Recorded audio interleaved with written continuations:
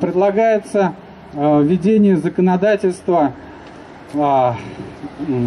введение законодательства нового состава преступления, это не, совершение, не сообщение о террористическом акте. Здесь достаточно спорный вопрос, потому что вот, например, вы едете в автобусе и слышите, что кто-то говорит, что где-то будет заложена бомба. Вы э, звоните в органы и говорите, я вот знаю, что будет заложена бомба.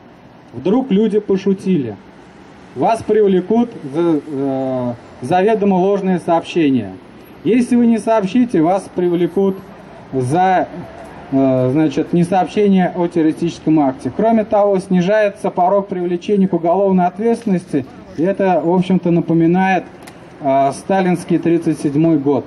Э, жители нашей страны понимают, что нас собираются ограбить, причем в очередной раз и не последний, я, я думаю, при такой думе и при такой власти.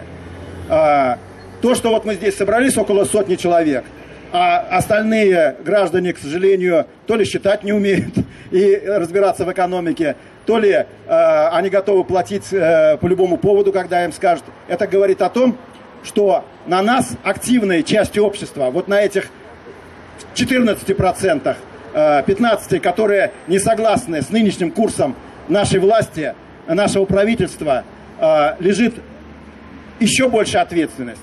Мы должны быть инициаторами Э, всех э, мирных протестных акций, чтобы изменить жизнь в нашей стране в лучшую сторону.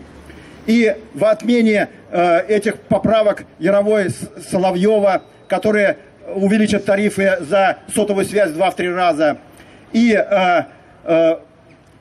не индексации пенсий, которые почему-то забыли проиндексировать, хотя, как мы знаем, в очередной раз члены Совета директоров э, государственных корпораций выписали себе премии по 100 миллионов рублей и получают бешеные зарплаты, хотя это государственная компания.